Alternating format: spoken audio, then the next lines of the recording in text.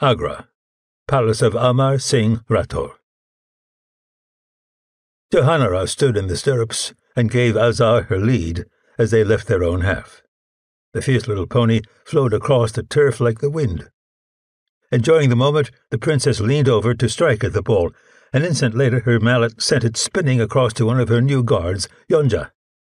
Bad pass, the princess muttered, seeing she'd sent the ball to where the Turkic warrior woman had been rather than where she was headed.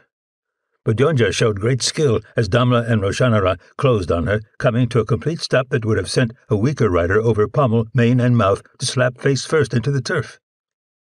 Her opponents went by, forced by her sudden stop to move aside or collide with the rump of Yonja's mount. The talented horsewoman wasn't done showing her skill, however. She leaned well out of the saddle and clapped her mallet against the ball, sending it in a curving arc that straightened along the boundary line ahead of Jahanara. Roshanara, the closest rider from the opposite team, snapped her reins against her pony's flanks and set out in pursuit. Jahanara lowered her head and again let Azar run. She had the straighter line and the faster horse, but Roshanara was smaller than her sister and hadn't been riding her mount all that hard until the last few runs of play. The other players were out of position and could only join the shouted encouragement from the gathered women watching from the shade of the gardens.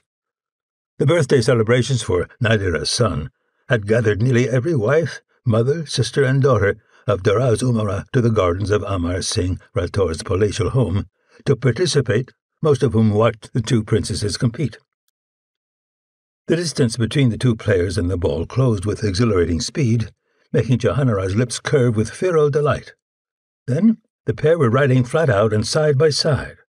The ball had stopped beside the boundary, meaning that Jahanara could only strike at it while riding out of bounds and from the left, while Roshanara had it on her right, strong side. Jahanara quickly switched hands and dropped her mallet for the swing. Roshanara's quick overhand swing of the mallet clacked against the ball, sending it rocketing back the way they'd come. Jahanara's mallet tangled with her sister's as the momentum of the smaller woman's swing carried the shafts together. The impact sent a violent shiver up the wood that stung Jahanara's hands and wrenched her shoulder. Roshanara was even more affected, as she'd stood in the stirrups and used every bit of strength in her body to make the hit. With her swing stopped so abruptly, Roshanara lost control of her mallet and struck her pony hard on the leg, making it stumble. She overbalanced and started to topple sideways, away from Jahanara. Jahanara dropped her mallet and snatched at her sister, hoping to stay her fall. She missed, but Roshanara caught her outstretched arm and used it to lever herself back upright.